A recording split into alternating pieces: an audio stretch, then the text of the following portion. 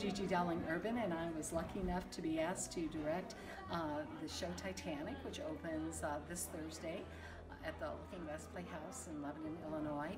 Um, this is my second time doing Titanic, and I can tell you that I am just as excited about this this uh, particular uh, ensemble as I was the first.